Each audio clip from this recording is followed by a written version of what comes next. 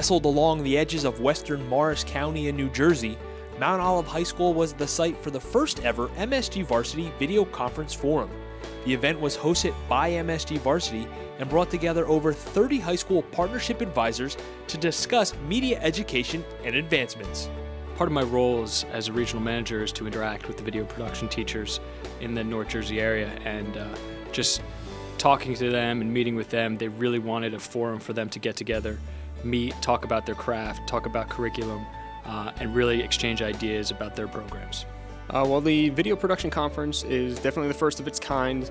I had a vision of bringing other teachers together to make a community of teachers to be able to bounce ideas off of. We need to make these connections and need to have these conferences to exchange ideas and make our teaching better and make our programs grow. And I talked with Mark Robinson, my outreach partner, and he was on board with it, jumped in, and ran full steam with it, and we were able to get this going.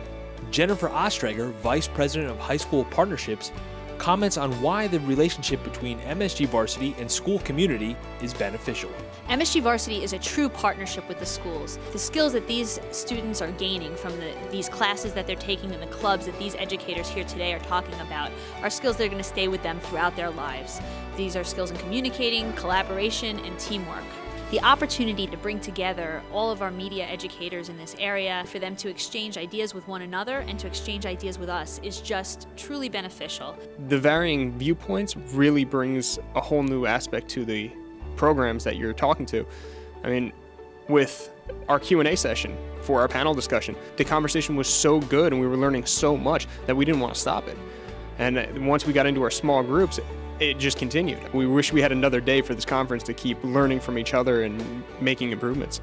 This conference really would not have been possible if it wasn't for the enthusiasm and excitement of both the MSG varsity staff and the schools. It really, it was brought to our attention, um, Chris Pramel from Mount Olive really brought to our attention the need and the lack of opportunities for these media educators to get together in a forum.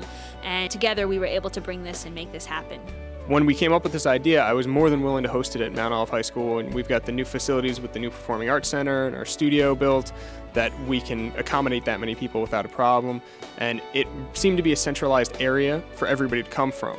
Mount Olive High School has kind of been a trendsetter with video production. They've got a great facility here, and they've got a great video production teacher in Chris Pramel and he really spearheaded this event, uh, offered up the Performing Arts Center as a venue for it, and really took charge of how we could organize it and put a, a lot of thought into how we were going to bring about all these teachers and, and discussion points that we were going to key on.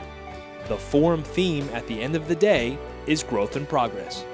The partnership with MSG Varsity has been great, and the support for this program and this conference has been overwhelming. And it's clear by what happened today that they are trying to make our programs better. They're trying to work with us. MSG Varsity, they're trying to give back to our school and our community and do that to help our students and make our programs grow. It's about progress, and I think as a company, as a network, as a partnership program, we're continuing to make progress. And this is one example of how, you know, this is new for us. You know, a new forum, a new way for for us to interact with, you know, our constituents, our our teachers, or our administrators. So hopefully, this can continue to grow.